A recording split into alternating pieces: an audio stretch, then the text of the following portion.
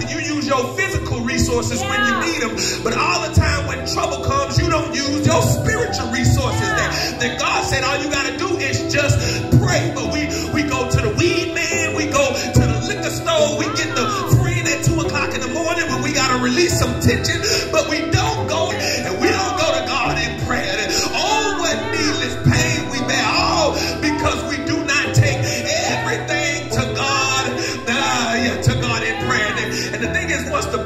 is gone, the problem is still, come on, the problem is still be there. Once, once the girl get up out the bed and go home, and uh, the problem is gonna still, uh, yeah, once the brother get up and go his, his merry little way, the problem is still going. If you learn how to pray about it, God will show you that prayer changes things. I, I don't know about you, I don't know about you, but, but uh, God sometimes had to teach you that prayer changes things. Weed may not change it, but prayer will change it.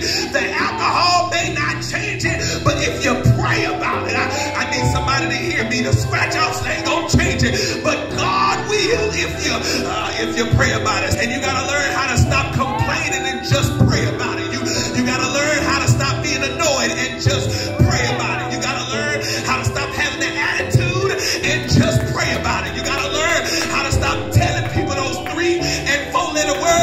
having a